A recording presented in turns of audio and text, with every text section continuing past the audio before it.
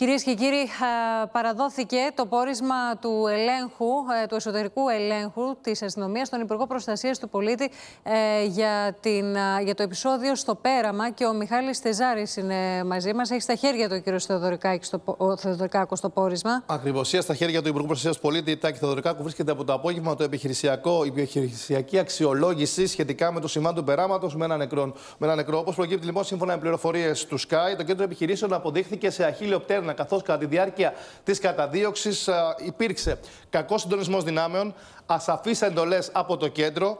Είχαμε έλλειψη εκπαίδευσης στην διαχείριση και όχι μόνο.